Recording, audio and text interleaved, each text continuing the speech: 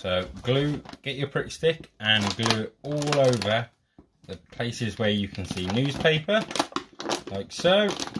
Just be soft and gentle with the balloon because you don't want it to go indented like mine. All right.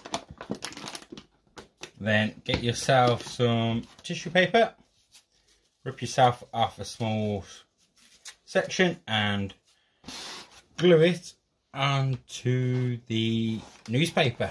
All right. So you want to do that for this one, this side, this side, and this side.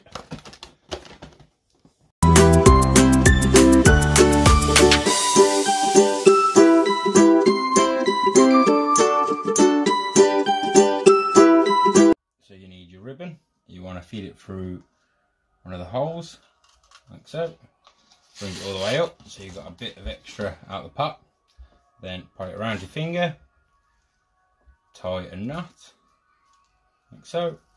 Then you want to tie one more. Take your finger out. Make a big pot. Then you want your pot to look like that okay? Perfect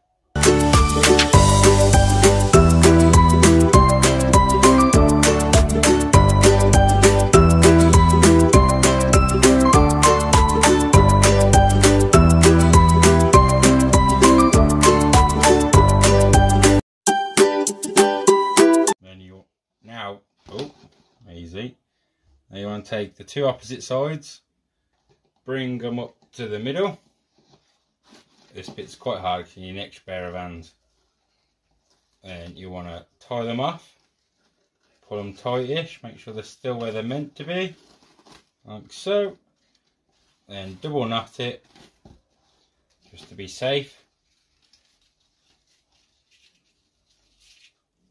Like so. Perfect show your still straight and then do exactly the same with the other two bits of string okay? So now you want to take two bits of ribbon that is left over and just get some scissors so get some help for this bit if you need it and chop them off. Then with the other two bits you got left you want to put them together tie a knot pain in the bum knot and so you got something to hang it. And then there you go.